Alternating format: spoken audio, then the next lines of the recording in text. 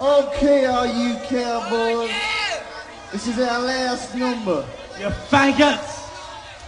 It's called Anarchy in The the US